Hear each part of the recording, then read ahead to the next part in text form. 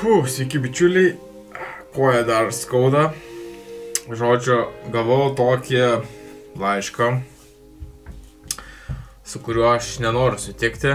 Gavau laišką iš Lietuvos rekordų knygos ir jisai atrodo taip. Gerbiamas Aurimai Valjavičiau, kartu su jumis džiaugiuosi naujų Lietuvos rekordų. Dabar rekordo prašymas numatytas toks. Tolimiausia kelionė Baidare 1649,58 km atstumo nusirė kaunietis Aurimas Valajevičius.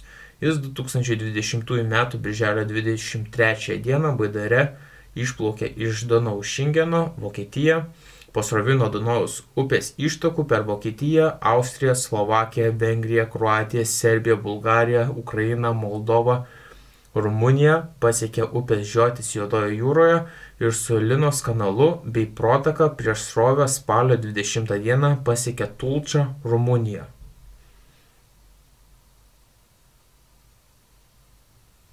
Jei manote, kad aprašymą reikia keisti ir papildyti, tai prašau pateikti savus patikslinimus.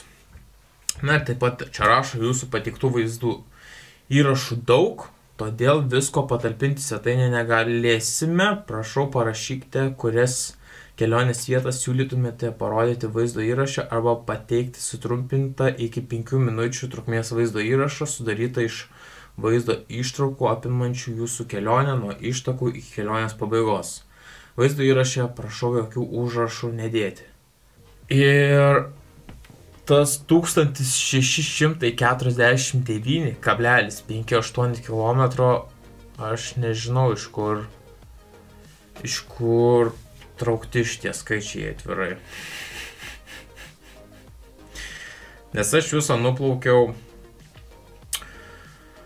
3000, aš noriu klausti, 3067 km.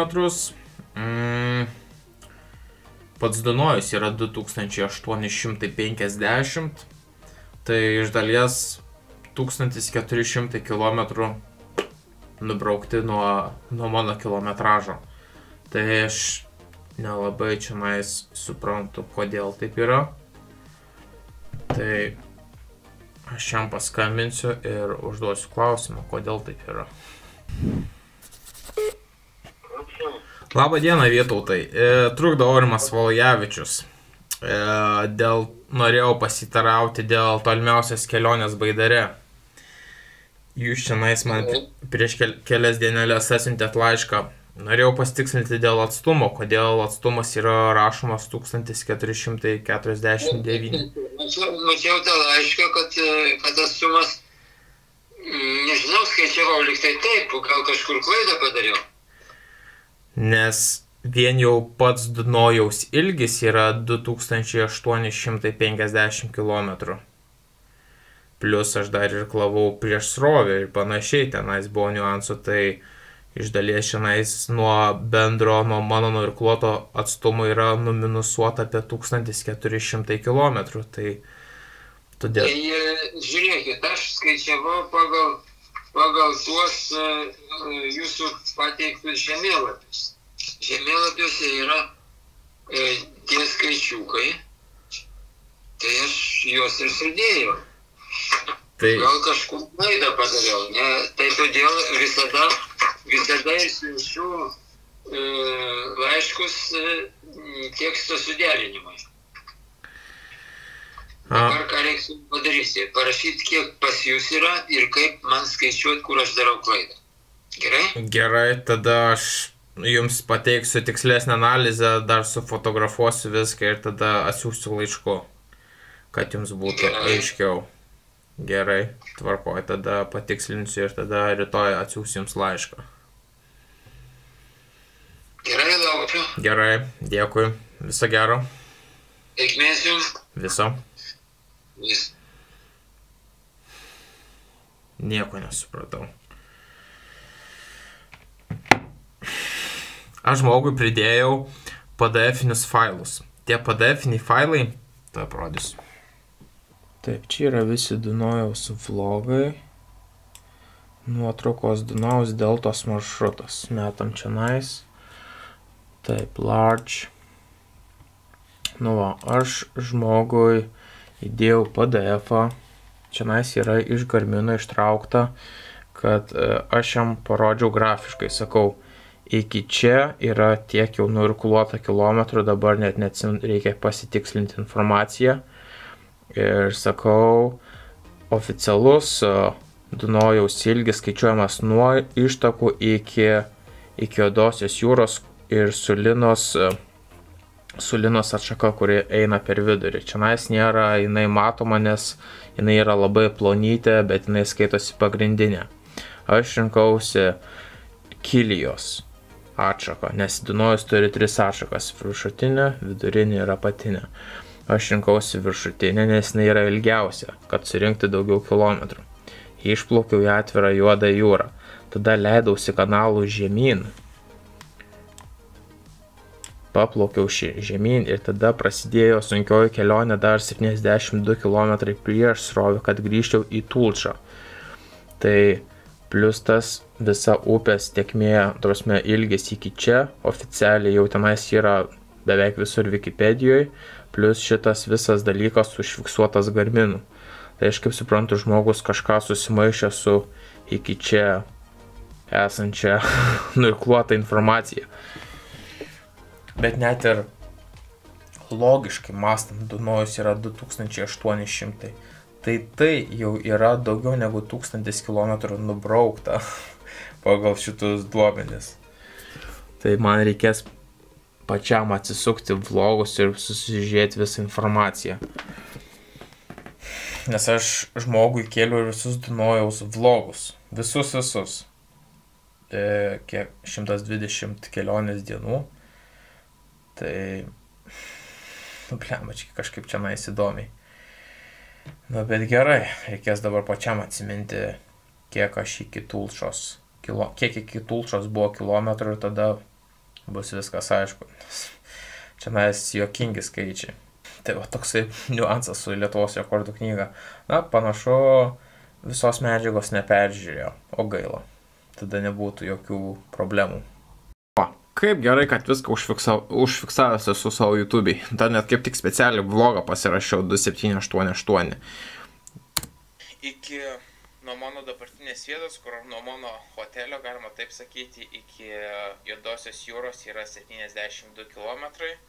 Tai vadinasi, mano sąskaitoje 2860 km, kiek Dunojaus ilgis yra.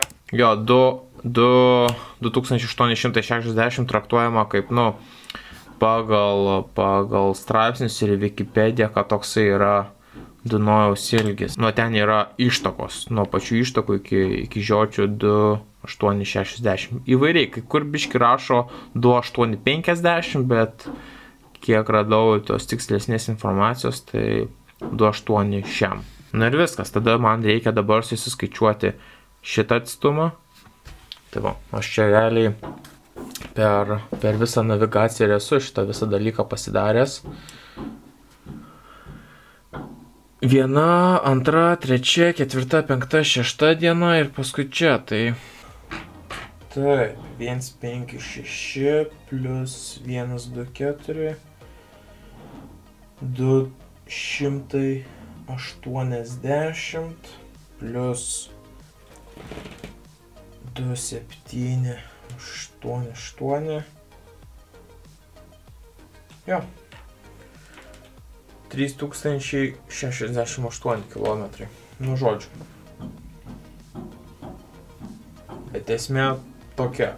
Tiek gavosi kad 280 km aš užtrukau visoje deltoj, nes e, čia nes kažkaip garminas man nušoko. Pradžiai skaičiavo gražiai, gražiai, gražiai kiekvieną dieną, paskui po truputį atiminėjo, pradėjau nuo čionai skaičiuoti, žodžiu. Sudėjau šitą atkarpą, paskui sudėjau aną atkarpą. Tai gavosi 156 plus 124. Nežinau, gal žmogų aš padarysiu net skaidrės, kad iki tos distancijos aš tiek nuirklau. Pirma, visos upės ilgis yra toksai, iki tenais dar įplovau tiek ir tenais aplink deltą tiek. Nu ir viskas. Nes čia kažkoks tai susi... nesusipratimas su 1600.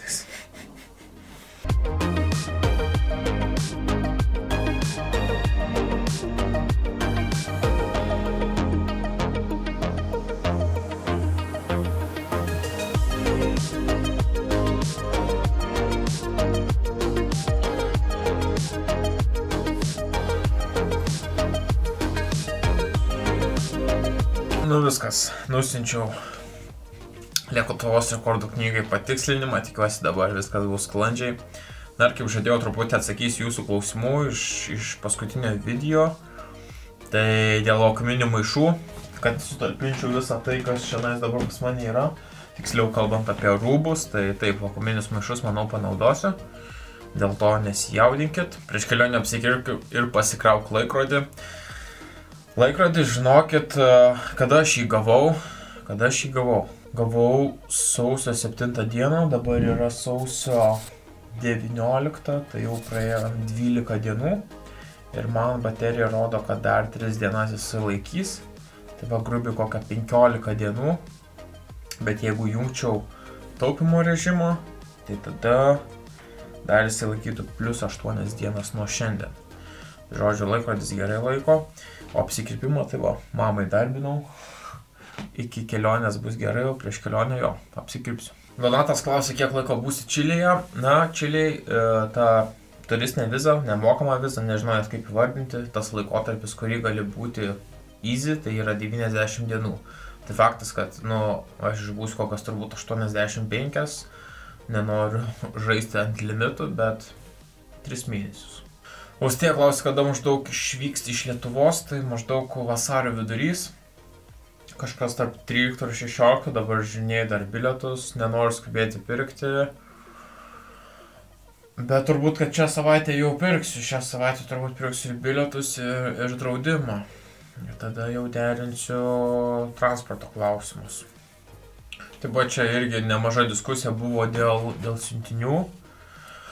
Tai jo, turbūt, kad vis tiek su savimi skraidinti visą bagažą, saugiau, patikimiau, reikės primokėsiu, bet aš manau tilpsiu, 23 kg, 2-3 kg yra tikrai nemažas svoris, turint omeny, kad dar bus kuprinė, aišku, reikės viską pirmą padaryti, paskaityti, kokios yra taisyklės to oro bendrovio, kai nusipirksiu bilietą, kokios oro bendrovės skraidins, bet tikrai ne Baltikas, tikrai ten ne tos tradicinės, ten kiek žiūrėjau, kažkokios prancūziškos yra, dar ten.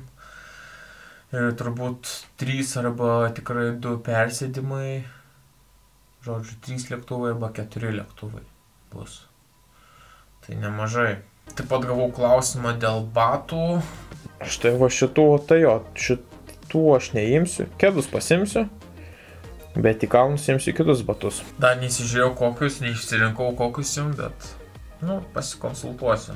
Nes turi vis tiek būti tvirti batai, nes reikės ir ant jų kates dar mauti, nes beveik daug ugnikalnių viršūnėse, daug kur sniegas, net ir vasarą dažniausiai. Taip kad be kačių, nu, sunkokai, sunkokai. Turint omeny, kad Aš jau atskrisiu į vasaros vidurį, čilės tai jau nebus ten pats pikas, nu kaip, tai kaip ir pikas, bet jau jisai antroje pusėje, tai negaliu čia labai taip snausti ir užsižaisiu tais ugnikalniais, reikės įveikinėti vieną po kito, vieną po kito, nes taip pat atsirado klausimų, tai koks čia kelionės tikslas, tai sakau, įkopti 13 aktyviausių čilės ugnikalnių, aš turiu jų sąrašą, ir taip pat įkopti, va ką tikrai noriu padaryti, įkopti į aukščiausią planetos ugnikalnį, kuris taip pat yra Čilė ir kuris taip pat nu, yra mano tam triliktukė. Jo aukštis yra truputį daugiau nei 6800 metrų virš jūros lygio ir jisai traktuojamas kaip aukščiausias uh, ugnikalnis, aktyvus ugnikalnis pasaulyje. Tai tokios progos nenorėčiau praleisti ir jisai yra mano sąraše. Ir ką man dar padarys rytoj, tai susisiekiau, su manim tiksliau susisiekė dėl inverterio e, pardavėjais, iš kurių pirkau, tai sakė, e, tu šitai dėk į siuntinį, o tau rytoj atvažiuos DPD, duos kitą inverterį, duos 200 W galingumo, o šitą atiduosi kurjeriui. Tai žodžiu, apkeis man ir sako bus geriau, nes Čia, sako, vis tiek jis yra silpnesnis ir geriau turėti galingesnį. Nu gerai, apkeičiam tada. Tai tiek tokių pagrindinių klausimų čia per pastarąsias kelias dienas susikaupė, tai nelabai daug. Kas liečia įrangą, dabar sėsiu prie kompo, toliau atsirinkinėjusi, ko reikia, kad padarytų užsakymą. Nėra ko laukti. Ir per šią savaitę turbūt pasitvirtinsiu didžiąją dalį savo remėjų, kad paskui galėčiau jau užsakinėti aprangą su logotipais, nes, nu, laikas labai tirpsta. Laikas tirpsta ir tos va, pa, pa, visą laiką paskutinės savaitės būna labiausiai įtemptos. Paskui jau, kai atvarai į šalį, pradedi keliauti jau darai savus dalykus, jau viskas ok, viskas ok, bet va, iki kelionės dar biški reikia pasistengti, viską susimėtyti. Aišku, Čilė, kaip visą laiką sakau, civilizuota šalis, ne kažkokia dykuma, ne, ne, ne, kažkokia dykuma Afrikoje. Tai blogiausiu atveju tenais irgi galima ir gauti pagalbą, ir nusipirkti, ko pamiršai ir panašius dalykus.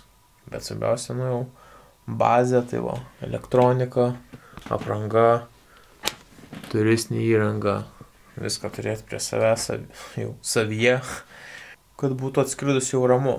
Ir ką dar, čia reikės pasitikslinti dėl interneto. Tai e, gavau patarimų dėl kelių operatorių, kuriuos geriausia rinktis Čilėje.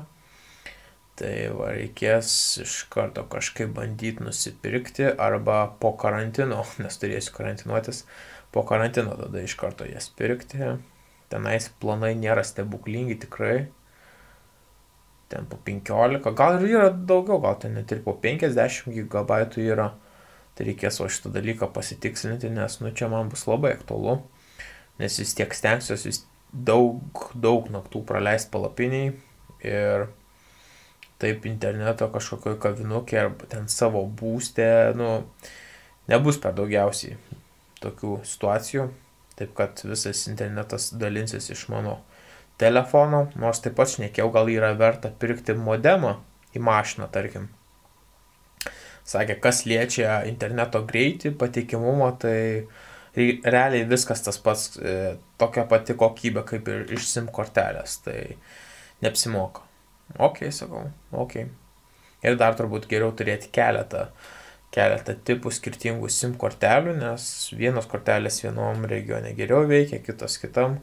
Turėjau šitą ir karčią, ir saldžią patirtį iš savo visų apskritai kelionių, kad e, vienoje šalyje kelios kortelės skirtingai ir veikia ir vienos geriau, kitos praščiau, tos, kur praščiau vienoje vietoje praščiau, kitoje vietoje labai gerai veikia. Tai visą laiką, kas liečia interneto ryšį, reikia eksperimentuoti. Tai manau, gali tekti ir čiliai tą daryti. Nes ryšį pagauti yra viena, tai ok, bet kita dalyka yra, kitas dalykas yra ten 2-3 GB vlogą įkelti. Tai va čia jau kiti reikalai prasideda. Čia jau reikia greičio. Nu, bet kaip nors, manau, kaip nors, ačiū, kad prenumeruojat kanalą, jeigu to dar nepadarė, tai padarykit, jums tai nieko nekainuoja, tikrai taip, ir susimatysime rytoj. Čiau, Šaika.